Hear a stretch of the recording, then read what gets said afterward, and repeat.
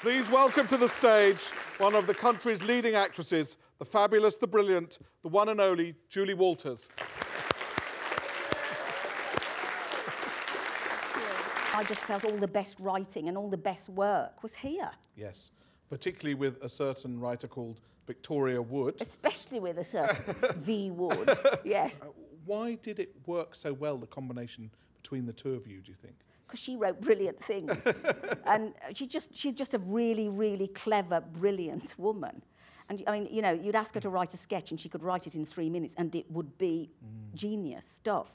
You know, so she wrote great stuff, and she wrote it for me. You know, she was very very generous. That's why it worked. I feel. Um, I, I, and I think it was, yes, that there weren't many women. Well, there weren't. There were none. We, at, at that time, with Wood and Walters, we were the first on telly, anyway, to um, to be there. So I think that that that put us in the spotlight. Did you used to develop characters together then? No, people keep saying, and marvellous your collaboration with Victoria Wood. And I go, yes, that's right. But in actual fact, she writes it and I do it. I mean, I interpret it a bit, you know, because as you do as an actor, but, you know, generally, she, that, that's her. Another very famous um, real life character that you played was Mo Mowlam. I remember talking to you at the time, and you said at first you were very hesitant about taking on that role. Yes, uh, yeah. Well, first of all, I read the script and thought, this is fantastic. It was a really, I couldn't believe what I was reading. I was shocked by the script, apart from anything else. I didn't know the, any, the half of it, basically. And I thought, oh, I've got to do this. This is amazing. So I rang the agent and said, "Gee, I'd, I'd really like to do it. And then they sent me some footage of her, and I thought, oh, I'm just, I don't look like her. And I thought, I don't look anything like her. And I thought, it's just going to be, people aren't going to see through the disguise. And I just, so I rang the agent. I said, I don't think this is a good idea, Paul. I really don't think it's a good idea. And he said, with respect, bollocks.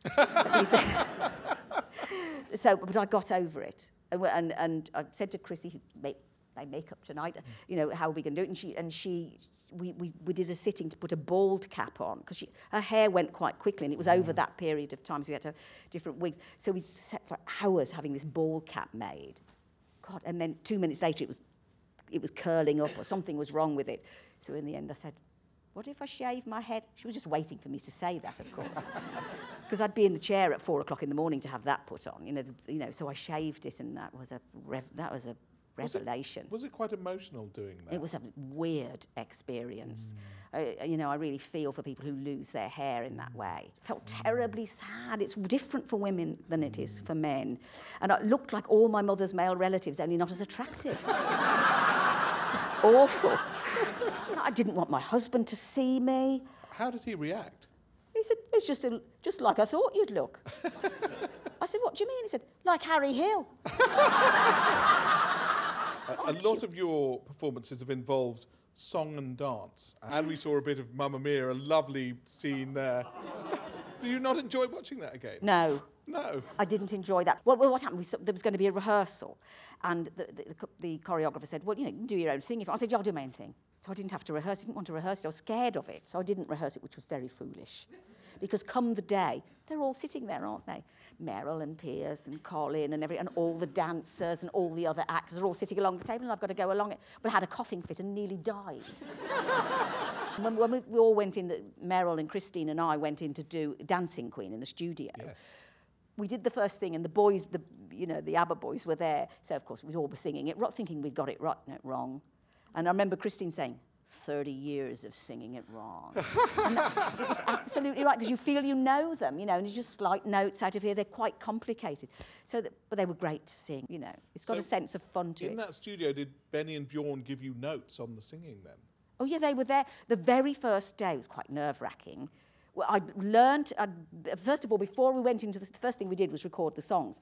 So, so I went and to the, with the MD and uh, I did the harmonies on them. So I learned, I had to go and learn those. And, and then we went in, going into the studio. So then I met Meryl Streep, who's like an icon to me, even though she's only a year older than I. It feels like I grew up watching her, you know. And, um, and then, and there are the ABBA boys. And within like five minutes, we're round the bloody piano singing it. It was a wonder I didn't have another of those coughing fits, actually. but it was fine. I mean, they're really nice. We've been reading a lot in the papers recently about how hard it is to become an actor. Do you do you feel that it's tougher for young actors starting out today? Oh, yeah, much tougher. There's no mm. reps for a start. That's all mm. gone, really. And that's where most of my generation of actors started. And it's a great place to start. You're away from the, the central, you're away from London and away from mm. everything. And, and uh, it, it, so it's brilliant from that point of view because there are no grants either. So it's very hard for people to go to drama school unless th- their parents can afford it. So I think that's So really it is sad. excluding a, a whole you know a whole level of, society. Yeah, it is. And the arts need to be represented by you know by everyone. And does it alarm you sometimes to to see the way in which fame has become so all important? Some people, you know, there are all the talent shows on telly, and people are Yeah. desperate to be famous. Yes, it's kind of misinterpreted, isn't it, fame, as if Mm. it's something wonderful.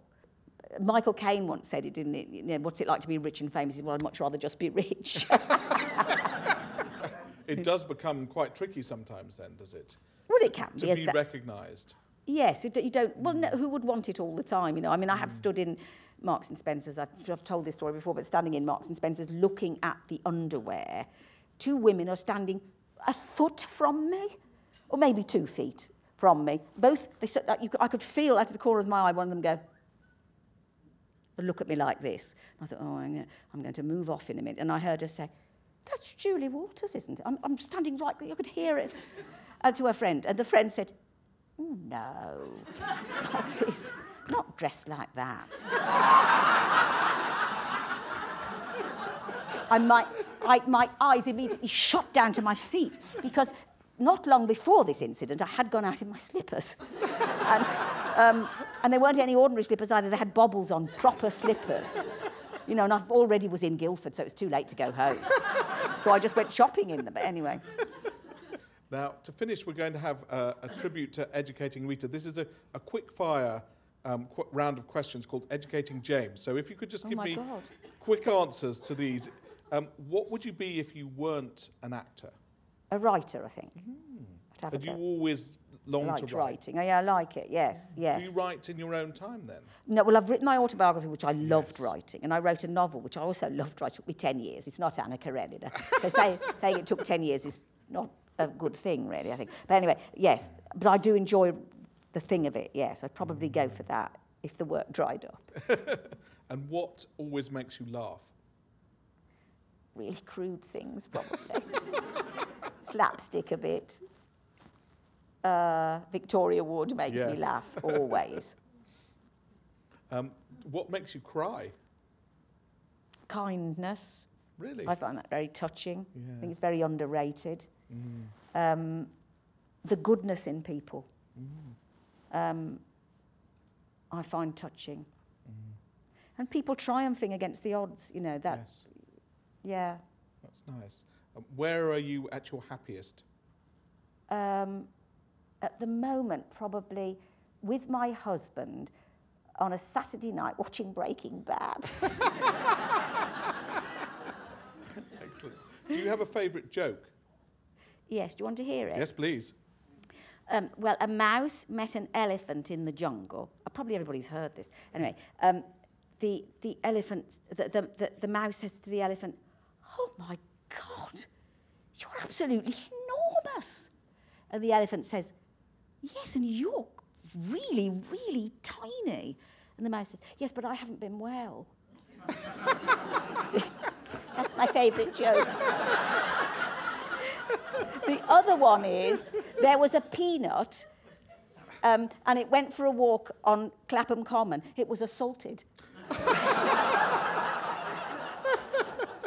That's good. Uh, what are you What are you most proud of? My daughter. Very nice. Yes. What's your favourite comedy character of all time? Not not one that you've played. Oh, God. Oh, that's my favourite. Not one. I think Peter Sellers in The Pink Panther's one of them. Yes. Um, Yeah. Oh God, I can't think now. It'll it'll come to me, won't it? After I've, we've gone, I'll come running after, up the street after you. Um, what I've just thought of that's gone out of my head again. It's the trouble with being this age. Whole blocks of things go out of your memory. It's deadly with lines. Um, uh, or you could pick one of your own. no, I wouldn't do that. Why could- um, Well, I'll tell you who I absolutely adore, Jack Black, the School of Rock. I Oh, think yes. made me die with laughter. He's just so funny in it. Great. Um, anyway, yes. Finally, who would play you in a biopic of your life? At what age, though? Ah, Tracey Ullman, because everyone used to get, she's a great actress and everyone used to get us mixed up. They used to say to me, Oh, I loved educating Rita, and your latest record. so I used to, in the end, I used to say, Oh, good, I'm glad you like it. I gave up saying, No, that's, never mind. I'd like to say thank you for everyone uh, for coming and to the event sponsors, Rathbones, but most of all, a massive thank you to Julie Walters. Thank you so oh, much. Oh, thank you. thank you.